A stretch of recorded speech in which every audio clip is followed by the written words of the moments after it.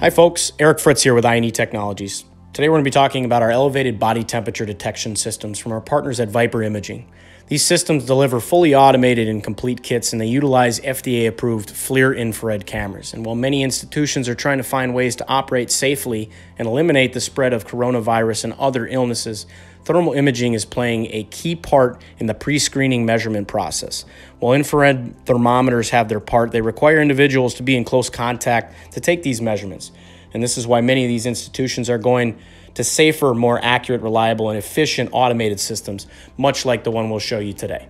Now, with so much misinformation going around about screening systems and their capabilities, it's important to ensure certain criteria when screening individuals. And these things include removing obstructions from the target's face, measuring only the target's tear ducts, not the entire face, and make sure to screen only one person at a time. You also want to make sure that your images are in focus. In our first example, we have three individuals being screened. They're all told to stop and look directly into the camera and wait for their green light, red light, or go, no go feedback based on the body temperature alarm threshold within the system. The on screen prompts can be customized to reflect any directive needed. In our next example, we're going to stress the importance of focus as it relates to accuracy. And as you can see, our target is out of focus. And as we focus the camera, though, the temperature becomes more precise as visual clarity improves.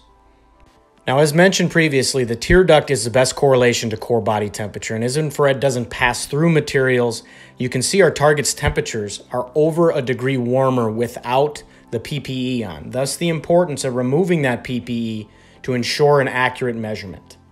In our final example today, we ask why is it important to screen one target at a time and remove obstructions from the tear ducts. Our individual steps in the field of view, gets a green light with glasses on, removes those glasses, and steps back in the field of view and we uncover the fact that she actually does have an elevated body temperature, which is indicative of low grade fever. So we need to make sure that we have the correct guidelines in place for the system we're utilizing for screening.